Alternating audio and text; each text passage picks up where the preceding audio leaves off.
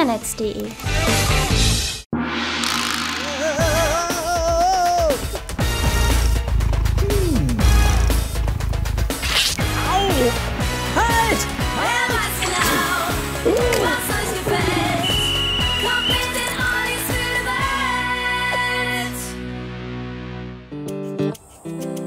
Das ist mal eine tolle Farm, was? Wow.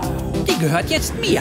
Also eine Zeit lang zumindest. Hm, Die Besitzer sind nämlich ein paar Tage verreist. Und so lange schmeiße ich den Laden. Mittagessen. Naja, also Davina hilft mir ein bisschen dabei. Na, jetzt schnauf doch nicht so laut. Hab ich doch gleich gesagt. Ich regel das.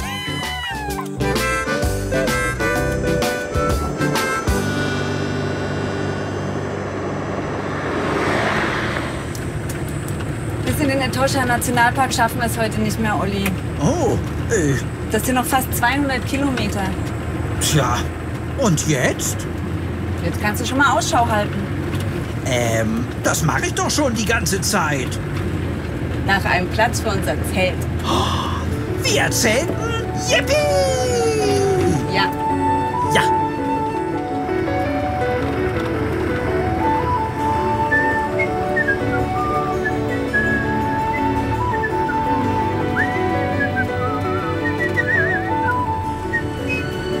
Weil schau mal, es wird schon gleich dunkel. Da, da ist ein guter Platz.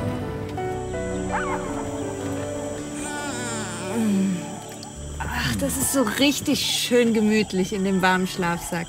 Oder, Olli? Der Schlafsack kratzt. Und außerdem ist er viel zu groß. Oh. Versuch einfach zu schlafen, Olli. Gute Nacht. Gute Nacht.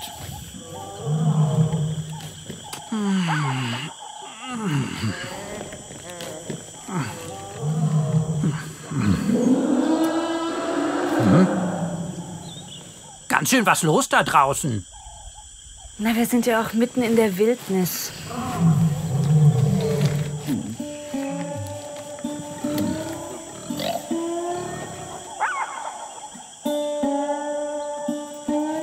Ich kann so nicht schlafen. Dann halt dir doch die Ohren zu. Es ist nicht der Lärm. Was denn dann? Meine Kuscheldecke. Ohne die kann ich nicht schlafen. Und wo ist die? Im Auto. Na, dann hol sie doch. Ich soll allein da raus? Ach, Olli, das Auto steht doch direkt um die Ecke. Das sind höchstens 10 Meter oder so. Na gut.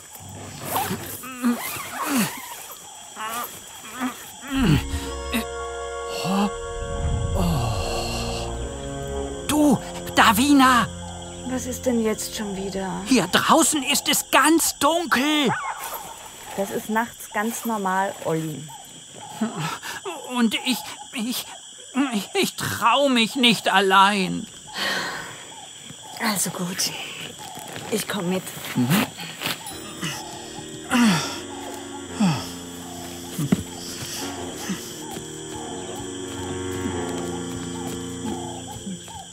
Au, au, au, au, au, au, au, au, au, au, mein Fuß. Au, oh, oh, oh, oh, oh, oh, oh. Was ist das denn? Das ist der Ast von einem Kameldornbaum. Und wer hat den ausgerechnet hier hingelegt? Elefanten? Hier sind Elefanten? Nein, ich glaube nicht. Aber hier sind wahrscheinlich welche vorbeigekommen. Elefanten lieben Kameldornbäume. Und was ist so toll an dem? Abgesehen davon, dass man sich pieksen kann? Warte, ich zeig's dir. Schau. Kameldornbäume sind echte Überlebenskünstler. Hitze und Kälte machen denen wenig aus. Und den Elefanten spenden sie Schatten und Nahrung. Die wachsen übrigens dort, wo fast keine anderen Pflanzen mehr wachsen. Und weißt du warum? Na, Ihre Wurzeln reichen bis 60 Meter tief und zapfen dort das Grundwasser an. wow. Ja, und was finden die Elefanten an diesen Stachelbäumen so toll? Na, unter der Rinde ist Bast. Den fressen sie richtig, richtig gerne. Und oben wachsen Blätter und Früchte. Tja, jetzt weiß ich, warum Elefanten Dickhäuter heißen. Denen machen die Stacheln nichts aus. Guck mal.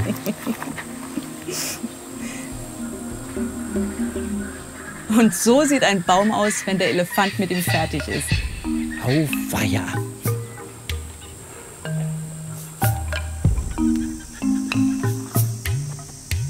Graben die die Bäume dann auch noch aus?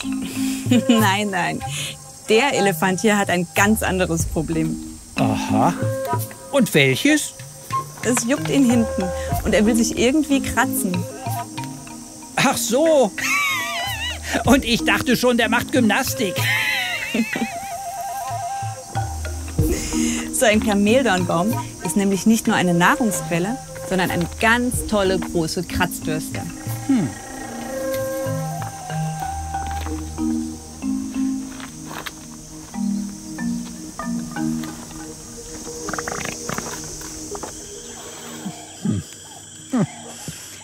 Geht's wieder, Olli? Ja, los weiter. Was denn? Nein, es war doch kein Uhu. Uh, tut das gut. Was denn? Bah! Ah, bah, bah, bah, bah. Ih, buh.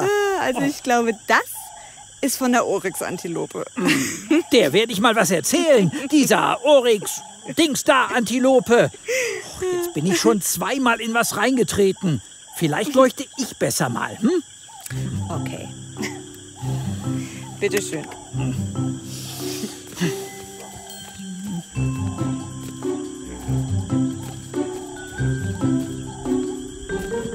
Ah! Jetzt hast du die Lampe auf UV-Licht umgestellt. Und jetzt? Na, jetzt leuchten Sachen, die man vorher nicht sehen konnte. Wow. Schau mal. Das sieht ja aus wie der Sternenhimmel. Toll, oder? Ja, nur dass Sterne nicht so giftige Stacheln haben. Ach, Olli, die Skorpione machen dir doch nichts. Ja, ja, das sagst du. Und wenn ich in einen reintrete, das kann ich heute nämlich sehr gut. Du kannst sie doch super sehen, so wie die leuchten. Ja, stimmt. Sag mal, wieso leuchten die überhaupt? Ich zeig's dir. Tagsüber verstecken sich die Skorpione. Und wenn man sich einen anschauen will, muss man sehr vorsichtig sein. Oh, ja, dem möchte ich auch nicht vor die Zangen kommen. Obwohl, ich bin ja viel zu groß für den. Ja, aber Vorsicht, Olli. Wenn ein Tier zu groß für die Greifzangen ist, dann hat der Skorpion immer noch seinen Giftstachel im Schwanz. Oh, oh. Ja, und warum leuchten die jetzt bei UV-Licht? Weil der Skorpion sein Skelett nicht innen, sondern außen hat. Das schützt ihn vom Austrocknen. Und da sind Substanzen drin? Die leuchten. Schon kapiert. Genau. Tagsüber verhält er sich unauffällig. Aber wenn es Nacht wird, dann geht der Skorpion auf die Jagd. Hier, jetzt hat er was erwischt. Wow. Ja. Und dann verarbeitet er seine Beute zu einem Brei. So wie die Spinnen auch. Na dann, guten Appetit.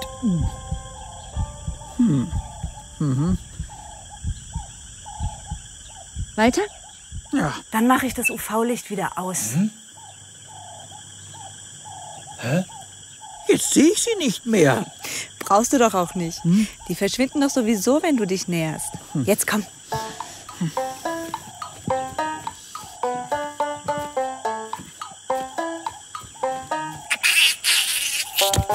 Was ist denn das? Ein Pavian. Was macht der denn hier? Tja, Walter? ja.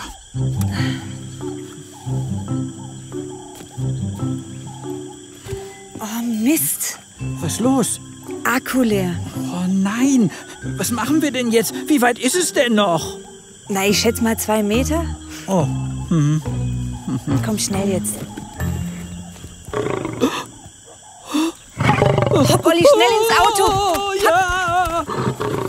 Wie schnell schnell, schnell, schnell rein. Rein, rein, rein, rein, rein, rein, rein.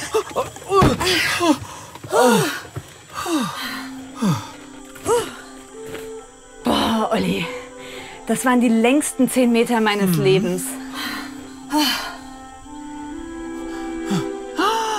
Meine Kuscheldecke.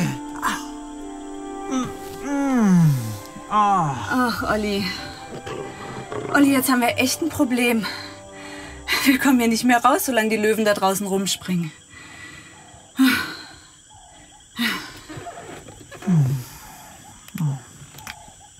Na super.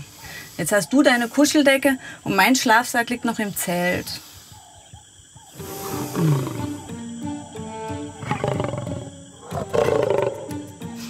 Und kalt ist es hier drinnen auch.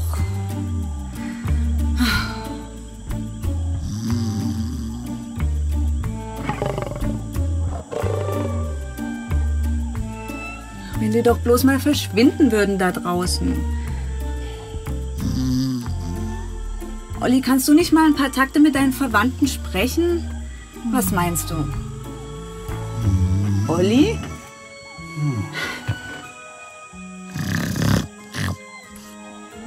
Olli, das ist jetzt nicht fair. Ich bin die längsten zehn Meter meines Lebens gelaufen, damit du deine Kuscheldecke haben kannst. Und jetzt soll ich hier erfrieren, während du gemütlich schläfst? Aufwachen!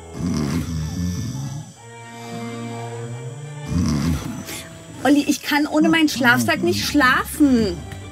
Hörst du?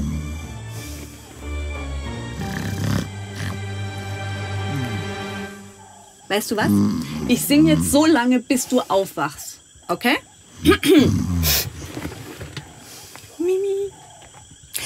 Wir lagen vor Madagaskar und hatten die Pest an Bord. In den Fässern, da faulte das Wasser. Und täglich ging einer über Bord. Ahoi, kleiner Löwe! Ahoi, ahoi! Wach auf! Bitte, Olli! Wach auf! Wach auf!